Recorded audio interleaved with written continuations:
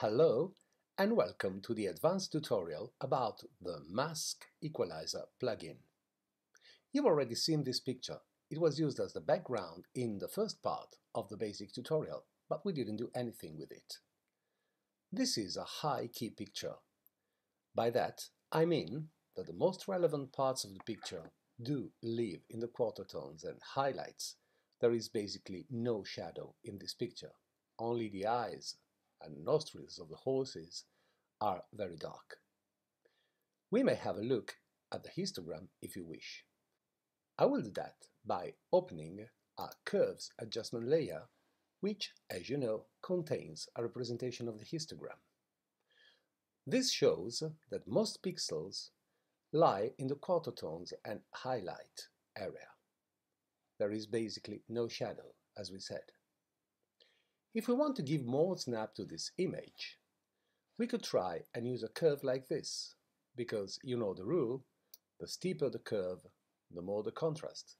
If you explore the horses now, you see that the little circle on the curve lies in a steep part of it. This means that we have more separation between similar tonal values in this area. So this is before and this is after. But of course, we don't like this version because it has become far too dark. So we need a layer mask in order to restrict the effect to the light parts of the picture. This is where the mask equalizer becomes very useful. As you know, you can retrieve it from extensions mask equalizer. We already know the interface because it was discussed in the previous tutorial, and so we go straight ahead.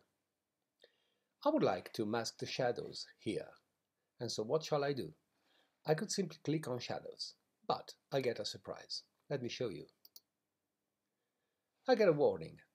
It says that this layer type, and this is referred to any adjustment layer, is not directly supported by Mask Equalizer we need to make a duplicate layer with merged visible content.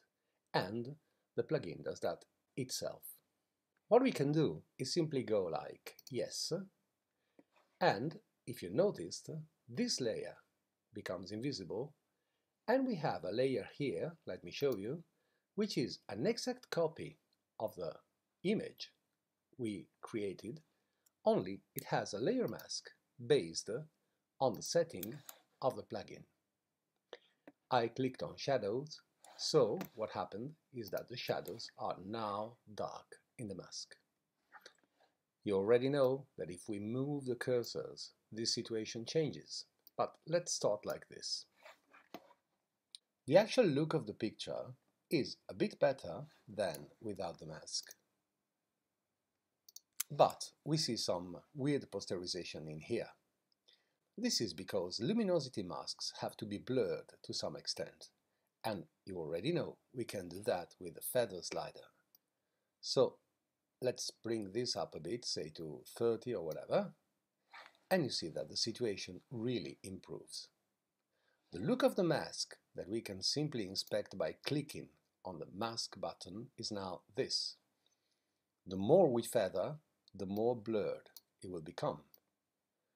How much to feather? Well, it depends on the size of the image, but usually quite a lot. This is what we have, and we can at this point try to mask other parts if we like the result, in order to maintain more detail in the highlights but protect the midtones and shadows. We started from this image and we ended with this image. Now, at this point, you may object that we don't have serious control on the aspect of the image because we can't use the curve anymore. But there is a trick. You can simply click on this mask and drag it onto the mask of the curve. When Photoshop asks to replace the layer mask, simply reply yes.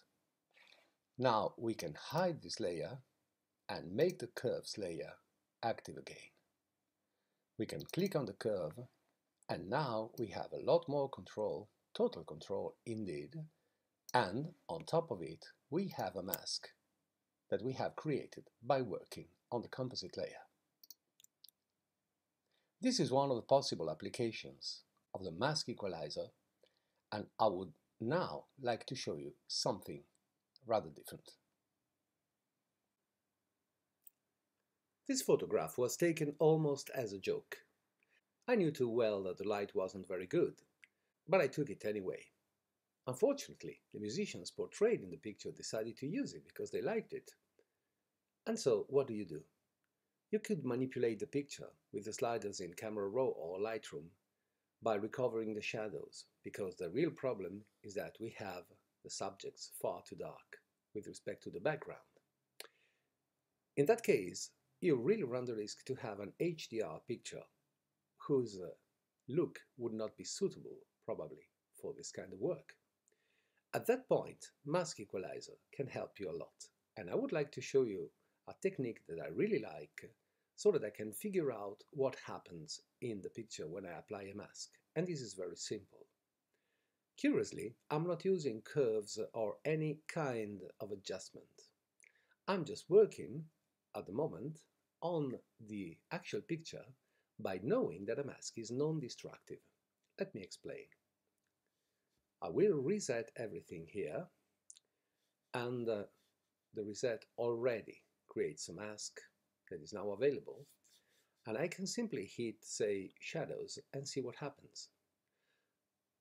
Why do we see this transparent? Well, you know, if we click on mask here and inspect the mask, we see that the mask in the shadows uh, makes the shadows transparent, indeed. What's the problem with this picture? As we said, and let me just disable the mask for a second, I would like to make this part lighter. So this requires a bit of uh, work.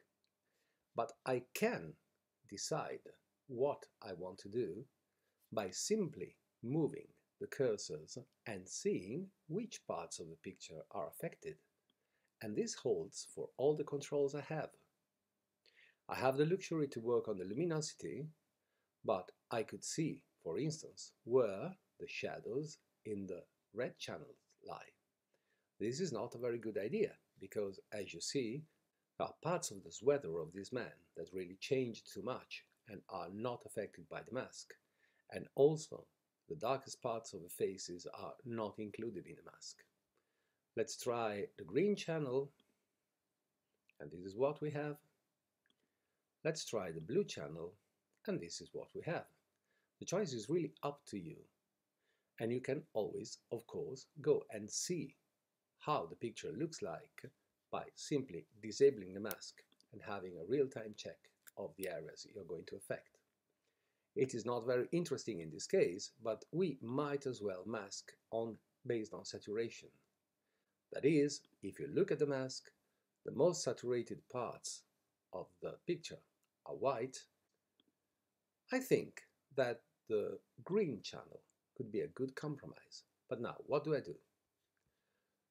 I can manage the mask as long as it is on a regular layer, but I can't do that if it's on adjustment layer. So I will have to make a guess like this so that I may feather the mask a bit because we know that luminosity masks need to be feathered. This is the result. Also, I can use the density slider to make the mask less dense, that is a gray, more or less dark rather than black. And I can also work on the contrast of the mask to make it more different between the light and dark. Now, with this mask very much active, I could create an adjustment layer based on curves, for instance, and just drag the mask on top of the mask that was born with the layer. I'll simply go yes, and this is now the situation. Alt click on the mask, and we realize that the parts that we want to curve because we want to make it lighter are dark and the rest is white. This is not what we want, it's the opposite. So I'll just go Command I for invert and obtain this inverted luminosity mask. Back to normal, double click here and we can finally control luminosity straight away with a curve, even to large extents if we want. Don't exaggerate this because HDR is behind the corner. But you see, it's a huge improvement. It's as if we added a flash somewhere and had a fill light that can be controlled exactly with this curve. It's up to us to decide what we want to do with luminosity, but again, this was before and this is after. As you realize, it is very difficult to explain in detail every possible technique that can be achieved with this kind of uh, plugin. But in the end, it's very simple. You start from shadows, midtones, highlights, or shadow highlights, that is, shadows and highlights together. You choose if you want to work on luminosity, red, green, blue, or the saturation. And then you build your own workflow, the one that fits you best, I mean, and you can manipulate the mask as easily as you wish. This is the end of this tutorial. I hope it was useful for you and don't hesitate to write if you have advice or comments about this. All the best and bye bye.